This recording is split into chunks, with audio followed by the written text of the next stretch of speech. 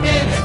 Candles in the window, carols at the spinet. Yes, we need a little Christmas right this very minute. It hasn't snowed a single flurry. Fozzie, we're all in a hurry. Guys, this is the best idea we've had in years. Christmas at my mother's farm.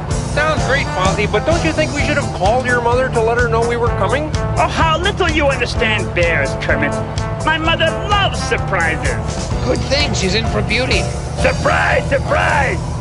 You see, I know what she is doing this very second.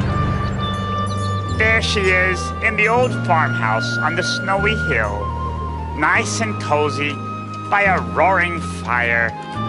Oh, the Christmas decorations will be up, and Ma will be in her rocking chair, knitting and feeling just a little sad that she's all alone for the holidays. Well, the plane leaves for California in three hours. Ho ho!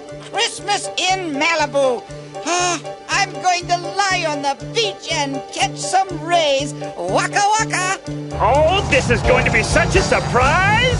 All out the holly,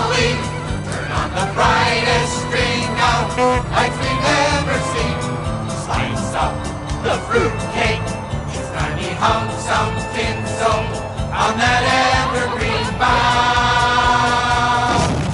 For we need a little music, need a little laughter, need a little singing, ringing through the